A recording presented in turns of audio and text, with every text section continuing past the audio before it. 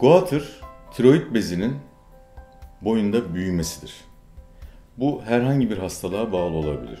Örneğin, ülkemizde de sık görülen iot eksikliğine bağlı bölgesel goiter, aynı zamanda tiroiddeki nodüllerin büyümesine bağlı goiter, yine aynı zamanda tiroiddeki herhangi bir kanserin ortaya çıkmasıyla ortaya çıkan tiroid bezi büyümelerinde goiter denilir. Yani goiter hastalıktan bağımsız tiroid bezinin büyümesidir.